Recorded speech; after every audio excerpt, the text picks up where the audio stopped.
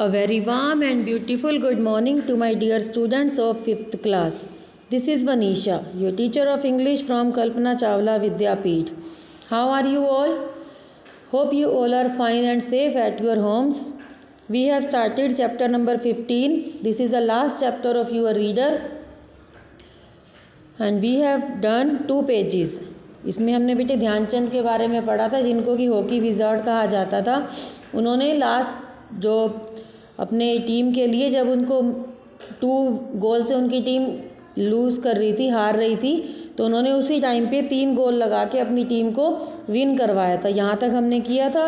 After that let us start Dhyanchand delivered brilliant performance in the first inter provincial hockey tournament that was organize in year 1925 कि ध्यानचंद ने काफ़ी अच्छा performance दिया था brilliant performance दिया था।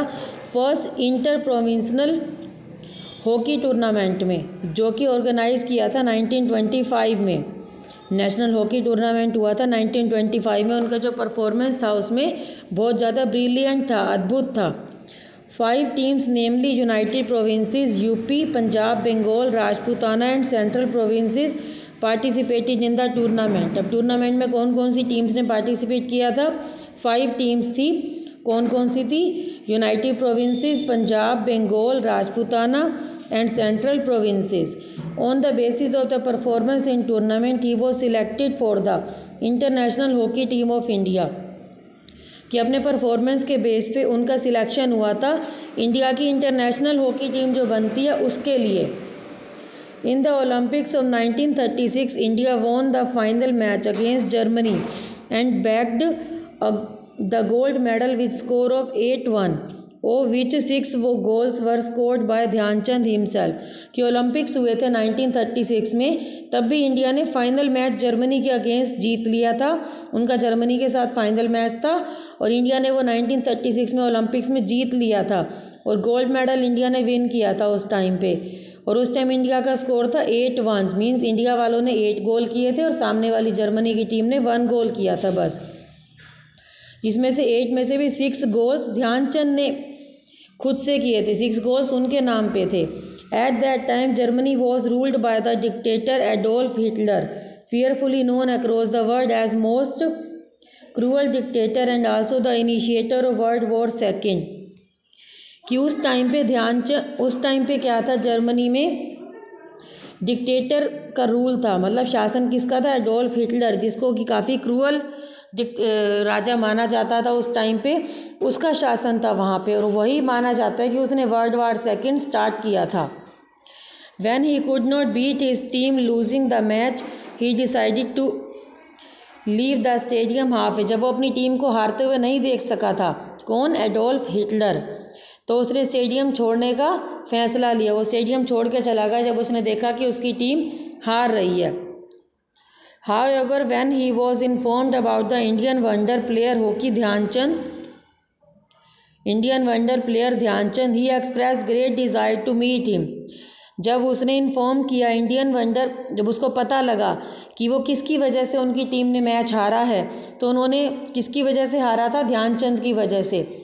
जर्मनी की टीम ने, जब एडोल्फ हिटलर ने उनसे मिलने की इच्छा जताई, वो चाहते थे कि वो इंसान से मिलना चाहते हैं, जिन्होंने उनकी टीम को उनके कंट्री की टीम को हरा दिया है।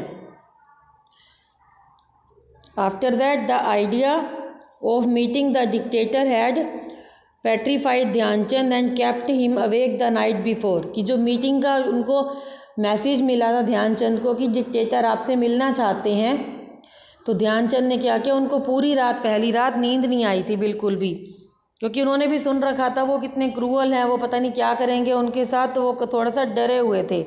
The next morning Hitler closely examine the player and enquired अगली मॉर्निंग क्या हुआ? था उन्होंने हिटलर को अपने पास बुलाया, उसको अच्छे से एग्ज़ामिन किया और उसके इंक्वायरी की उससे। क्या उससे पूछा मतलब?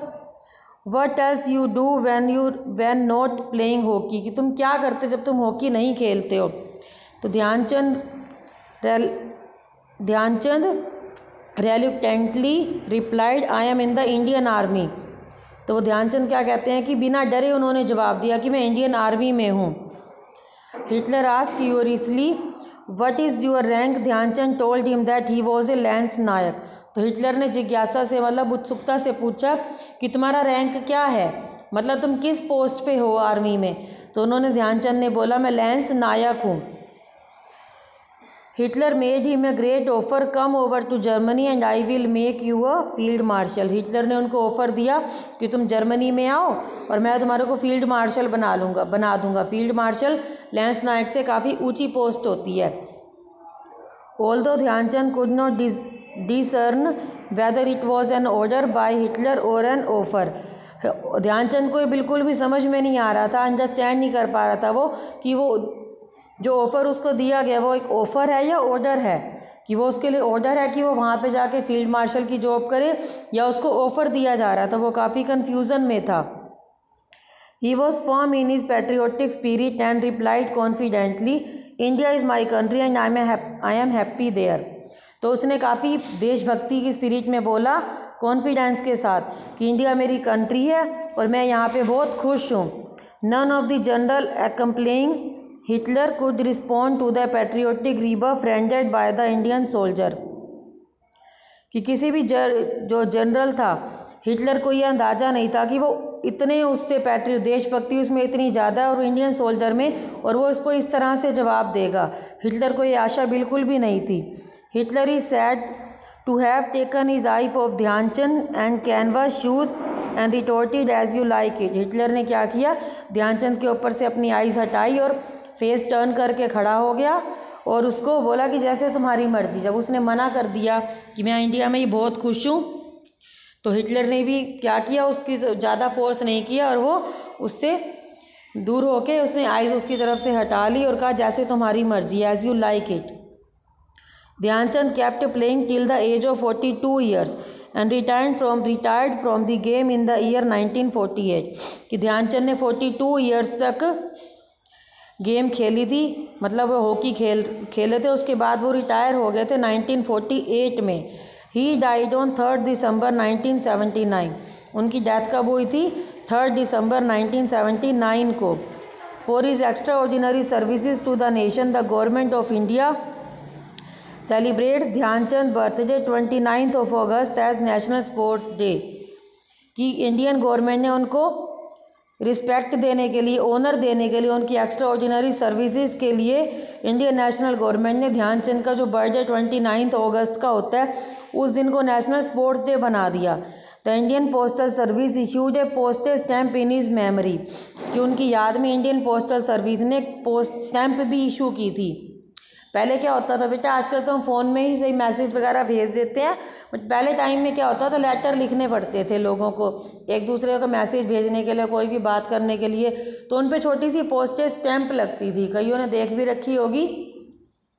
तो स्टैम्प पे उनकी पिक्चर बनी हुई थी और उनका नाम भी लिखा हुआ था तो उनको बहुत बड़ा सम्मान होता है जब किसी के नाम पे कोई स्टैंप निकाली जाती है। Dhyan Chand national stadium in New Delhi has been named after him और दिल्ली में एक स्टेडियम है, जिसका नाम ध्यानचंद के नाम पे रखा गया है।